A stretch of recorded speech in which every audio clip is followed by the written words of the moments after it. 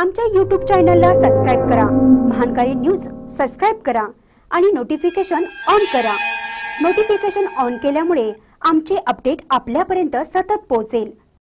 कुटवाडमध्ये अशुद्ध पाणी पुरवठ्याने नागरिक हैराण कोट्यावधींची योजना निष्फळ सदाभाऊंना भेटणार कुटवाडमधील अशुद्ध पाणी पुरवठ्यामुळे नागरिकांचे आरोग्य धोक्यात आले. कोठ्यावधींची योजना निष्फळ ठरली. योजनेत अनेक बाबी संशयास्पद असल्याने याची चौकशी करावी. यासाठी मंत्री सदाभाऊ खोत यांना एक शिष्टमंडळ भेटणार असल्याचे समजते. कुटवाड ग्रामपंचायतीच्या भोंगळ कारभारामुळे नागरिकांचे आरोग्य धोक्यात आले आहे. कुटवाडमधील शुद्ध पेयजल योजना पूर्णपणे निष्फळ ठरली असून त्यामुळे नागरिकात नाराजी आहे. निवडणुकीपूर्वी नागरिकांना शुद्ध व मुबलक पाणी देण्याचे आश्वासन दिल्याने ग्रामपंचायतीत तरुण कर्तबगार सदस्यांना कुटवाडमधील नागरिकांनी निवडून दिलं.